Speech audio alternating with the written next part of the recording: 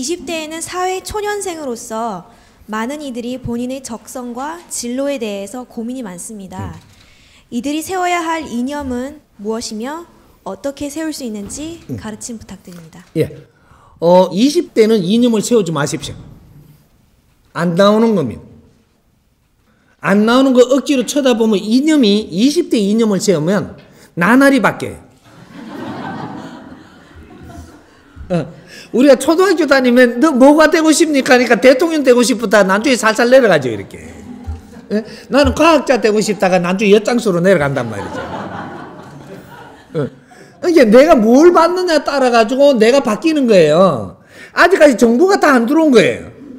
어? 그럼 20대에는 아직까지 이념을 세울 때가 안 됐습니다. 아, 사회를 더 관찰해야 되는 것이지. 관찰을 해가지고 부모님하고 의논하고, 어, 요러는 거예요. 부모님하고 자꾸 의논을 해야 된다. 관찰을 하고 나서. 어, 그러면 부모님이 틀린 답을 주는 것도 그냥 받아 놔야 되는 거지. 그걸 답이라고 생각을 하면 안 된다. 이거는 의논인 거지. 답이 아니에요. 어, 20대는 이렇게 받아들이면 돼요. 부모님이 이렇게 이렇게 설명을 해갖고 왕과에게 답을 딱 주는 것 같잖아요. 답을, 부모님은 답을 줬지만 나는 의논인 거예요. 행동은 그 다음에 내가 하는 거지. 어, 이렇게 누가 답 준다고 답이라고 생각을 하면 안 돼요. 이 사회는. 어, 책을 우리가 봤죠. 책을 본 거지. 그건 답이 아니에요. 우리는 여기서 지금 비틀어진 거예요. 책에는 답이 있다라고 생각을 했던 거죠. 책은 역사예요. 과거에 있었던 것을 정립해가지고 나눈 거지, 여기에는 완전한 답은 아니라는 걸 알아야 돼. 이걸 먼저 전제를 가지고 책을 봐야 돼. 어. 이, 이, 요, 요런 거죠. 사회 모든 환경은 답이 아니에요. 어. 이거는 이 환경이지 답이 아니라니까. 어. 그럼 이때까지 우리가 어, 지금 종교적으로 지금 풀어놓은 성경이라고 하죠. 이건 답이 아니에요. 어, 불경을 해놓은 거에 완전 불경이 나온 게 아니라니까. 이때까지 끌을 가지고 해놓은 거지. 답은 아직 안 나왔어요. 어, 그걸 답이라고 해버리면 우리가 들고 있잖아요. 들고 있으면 눈이 이거 밑에 있어갖고 이게 안 보여. 우리한테 준 과제지요. 어? 모든 것은 사회 정보란 말이죠. 정보를 우리한테 이 과제를 주었다. 이걸 가지고 더, 더 질량 있는 답을 꺼내는데 너희들이 참고가 되게끔 해준 거다. 이건 참고서예요. 모든 사회권은 좀 다 참고입니다. 이렇게 알고 우리가 공부를 접근했어야 되는데 이게 답이라고 자꾸 이제 우리가 어떻게 버릇이 돼보냐. 시험침에 답안지를 써라 하니까 그걸 답이라고 계속 쓰다 보니까 사익이 다 답이 돼본 거라, 지금. 원래 지금 이렇게, 이렇게 키우면 나중에 노예를 키우는 거예요. 노예. 우리 이렇게 사회 노예가 돼버리. 우리는 홍이 인간들이에요. 새로운 미래에 답을 내야 될 홍이 인간들이라니까. 그럼 키울 때 지금 잘못 키운 거예요. 이거는 모든 게 사회 이때까지 살아갔던 모든 이 자료가 우리한테는 이 역사의 자료로 주지만 이건 참고서에 불과하니 이것을 전부 다 숙지해 가지고 요 위에 새로운 미래의 새로운 패러다임을 너희들이 내놔야 된다라는 이 과제를 줬어야 되는 거죠. 신패러다임. 그 소리는 엄청 하대. 신패러다임. 그러면 이쪽에 책 안에 있는 거로 주물러 갖고 이걸 신패러다임이라. 과거로 돌아가자는 거잖아요. 자꾸 과거 걸 더해보자는 거고. 어, 이런 거죠. 어. 20대는 이념이 나올 때가 아닙니다. 20대는 이념이 안 나오는 것이요. 이념은 언제 세우는 것이냐? 네 공부를 마칠 쯤에. 네 공부는 언제 마치느냐? 30대. 30대 공부를 마칠 쯤에 이념들을 세워야 돼.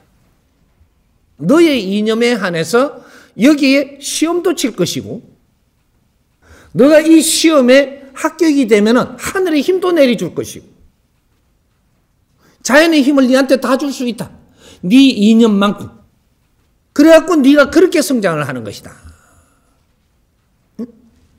우리가 1차 이념들을 세운 것을 잘 알았더라면 우리가 2차 대전 이후에 폐허가 된 데서 대한민국은 이렇게 세웠습니다. 왜 그랬을까요? 과거는 전부 다 썰어버리고 폐허가 된 데서 잘 살고 못 사는 이 없는 데서 거진 그렇게 만들어 놓고 거기서 전부 다 우리는 똑같은 환경을 받았어요. 받아가지고 어떤 사람들이 성장을 했느냐? 기업의 총수들. 이런 분들이 성장을 했죠. 왜 성장을 했을까요? 이 사람들은 이념을 세웠기에 성장을 했습니다. 이념을 세운 만큼 하늘의 힘을 받았다. 어. 그래서 일대는 이념을 정하고 정리하고 이걸 깔아놓은 것이 그것이 일대들이 했던 거예요. 어. 그래서 일대는 진로를 만들었다. 진로를 만들어 갖고 이대한테는 그것을 물리 준 거죠.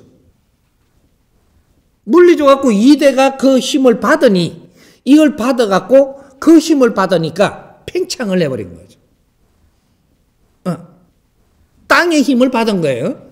하늘의 힘은 일대가 받았고 이 일대들이 진로를 전부 다 나갖고 하늘의 힘을 받아갖고 쓰다가 이대는 땅이에요. 여기서 이 땅의 힘을 키워서 우리한테 준 거죠. 주니까 이대가 이걸 받고 나니까 이게 팽창이 되는 거죠. 그래서 1, 2대는 하나예요.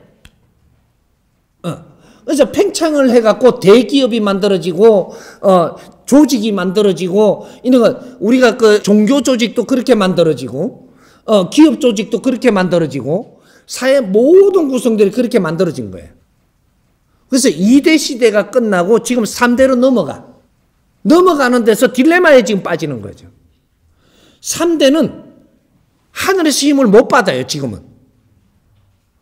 3대는 지식을 갖추지 않았느냐, 지식.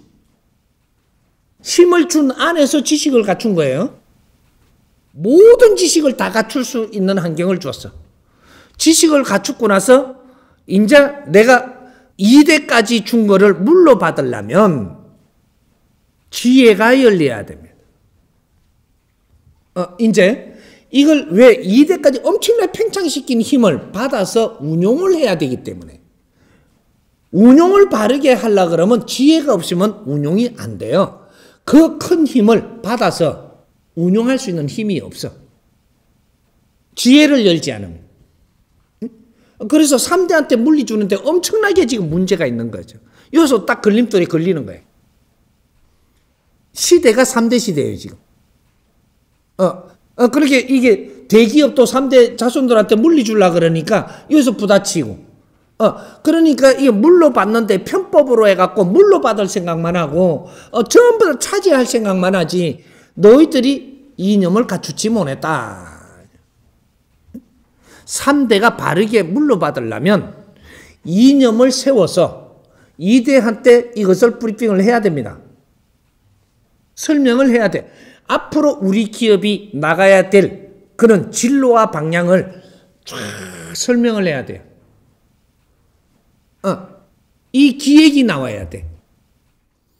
그러면 2대가 아주 편안하게 이걸 물리주고 나는 할 일 다 했으니까 떠납니다.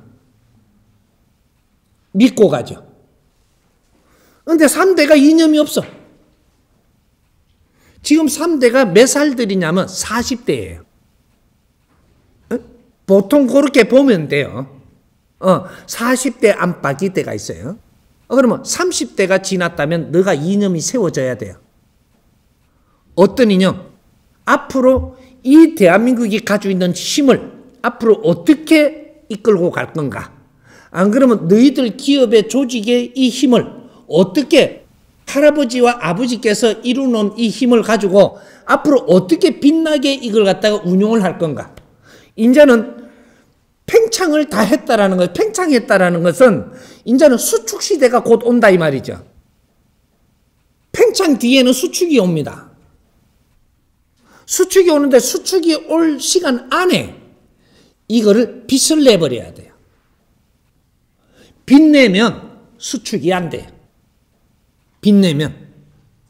이 빚으로 어마어마한 힘이 생기는 거죠.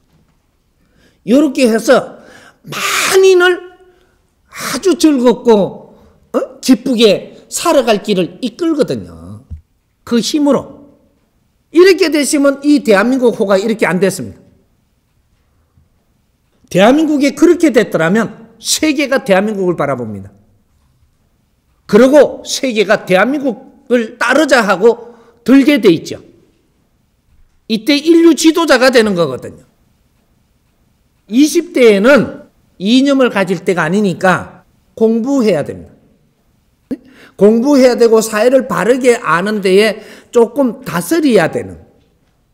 그러니까 부모님한테 여쭈어보고 또 우리 형제들 뭐 형이 있으면 형한테 또 누나가 있으면 누나한테 물어봐가면서 조금 다져가고 어, 무조건 이게 사회에 지금 선배님들이 있으면 선배님들한테도 물어가면서 조금 어, 만져가고 어, 이렇게 해서 그 선배들이 답을 준다라고 해가지고 답으로 생각을 하면 안 되고 의논해서 정리해서 내가 조금 이렇게 정리가 되는 방향으로 이렇게 가야 되는 거예요. 예? 아직까지 활동할 때가 아니고 사회를 관찰할 때란 말이죠. 어? 20대예요. 어, 그러니까 20대는 아직까지 어, 뭔가를 내가 답을 내, 낼수 있는 때가 아니니까 어, 답은 택한 푼도 없는 때니까 어? 어, 그렇게 30대도 답을 내면 안 되는데 30대도 답을 내면 안 돼요. 30대 우리가 답을 내는 것이 아니고 뭐든지 흡수해야 돼요. 그러면 30대까지 갚으려서 안 되겠지. 어, 또, 또 질문을 할 거니까, 어, 20대는 이렇게 알면 됩니다. 예.